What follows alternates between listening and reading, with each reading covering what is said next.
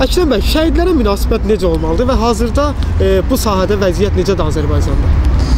E, Quran-ı Kərimdə e, Məhəmməd peyğəmbərin hədislərində şəhidlərə yüksək qiymət verilir. Yəni İslam dini baxımından yanaşdıqda şəhidlərə yüksək qiymət verilir. Allah Taala buyurur ki, e, şəhidlər Allah yanında diridirlər. Yəni onlar heç zaman ölmürlər.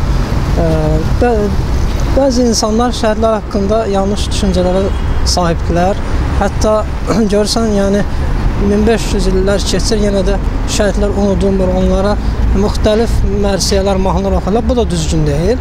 Ancaq şəhidlərə hörmət, yəni onlara e, necə izah edim bunu?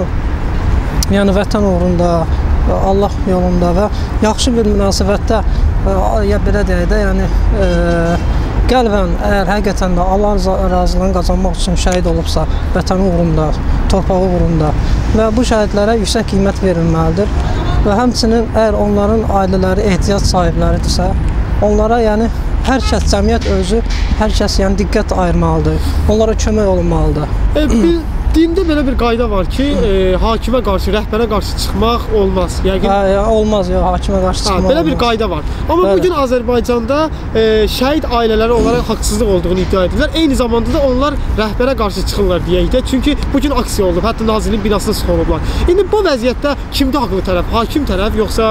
Yox, ümumiyyətlə hər bir halda hakimə qarşı çıxmaq olmaz. Yəni İslam dini baxımından hakimə qarşı çıxmaq böyük günah sayılır, haram sayılır. Hətta bu xavarislik hesab olunur. Yəni dindən çıxmaq kimi qiymətləndirib bunu Məhəmməd Peyğəmbərimiz sallallahu əleyhi və səlləm. Çünki özü də İslam dövlətinin rəhbəri olanda ona qarşı çıxanlara özü, yəni onlarla mübarizə aparıb, onlara deyib ki, onlar bizdən deyil, onlar xavarislərdir. Yəni bizim bizdən xaric olan insanlardır və bu ideologiya yanlış ideologiyadır ki, hakimiyyətə qarşı çıxasan, hansısa bir bəhanəni gətirib hakimiyyətə qarşı çıxasan. Bizim ölkə rəhbərimiz hər zaman şəhidlərə xüsusi diqqət göstərib.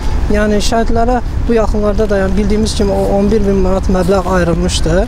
Yəni o müəyyən bir vaxtdan sonra yəqin ki, onu verərlər. Əgər hər hansısa bir məmur, hər hansısa bir e, dövlətin işçisi, əgər o pulu mənimsəyirsə, onun e, yəni şəhidlərin haqqı olaraq onu vermirsə, təbiidir ki, həmin məmuru cəzalandırmaq e, lazımdır və həmin məmuru belə deyək, işdən azad edib daha səriştəli bir insanı vəzifəyə gətirmək olar ki, o insan yəni şəhidlərin haqqını tapdalmaz. Çünki bu pul ayrılıbsa, bu yəni şəhid ailələrinə verilməlidirsə, təbii ki, bu yəqin ki, veriləcək yaxın zamanlarda. Sadəcə insanları kütləviləşdirmək, yəni onları hakimiyyətə qarşı qızışdırmaq və onları küçələrə çıxartmaq, yəni onlarda bir mənfi emosiyalı fikirlər yaratmaq bu təbii ki, İslam dini baxımından doğru deyil. Yəni Şəhidlərin, bu ölkədə yəni xaosa səbəb olar. Şəhidlərin bu e, dində olan belə deyək, hörmətindən, dəyərindən danışdınız. E, belə deyək, bəzi icra e, hakimləri var ki, bizə xəbərlər gəlib çatır, şəhid ailələrinə qarşı hörmətsizlik edirlər. Dini baxımda həmin icra başçıları cəhənnəmə düşər yoxsa cənnətə? Yox, ümumiyyətlə, yəni əgər hər hansısa bir icra başçısı şəhid ailəsinə qarşı hörmətsizlik edirsə, bu o fərdin özündən qaynaqlanan bir məsələdir. Onun dini cəzası yəni, nə olar? Yəni onun dini cəzasını o biz yəni hökm verə bilmərik o barədə. Necə yazılıb kitabda? Yox, kitabda necə yazılıb?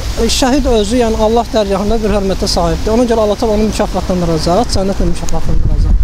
Ha, yəni hətta onun ailəsinin belə onu qəbul etməlidir ki, bu Allah yolunda şəhid olur və buna görə də həmişə yəni Allaha inanmalıdır, əmin olmalıdır ki, Allah təala hər zaman onun ruzusunu gətirəcək. Yəni sadəcə etiraza qalxmaq, nə bilim, küçələrə çıxmaq, bu biraz bəyənilməyən bir işdir. İslam dini bunu bəyənmir həqiqətən. Yəni İslamda belə bir anlayış yoxdur. Siz bu sualdan artıq bir neçə dəfə yayındınız və sonuncu sualı bir daha sizə verirəm. Yox, mən heç bir sual yayınmadım. Şəhidə qarşı, şəhid ailəsinə qarşı hörmətsizlik eləyən məmurun e, İslamda, dində cəzası nədir? Ümumiyyətlə o dünyada nə gözləyir? Yəni hər bir normal bir insan istəyir məmur olsun, istəyir adi vətəndaş olsun, e, istəyir şəhid ailəsi olsun, istəyir əskər valideyn, əskərin e, yaxınları olsun, istəyir bir vətəndaş olaraq öz vətəndaşına qarşı e, çıxması və yaxud da ona qarşı kobud rəftar etməsi olmaz.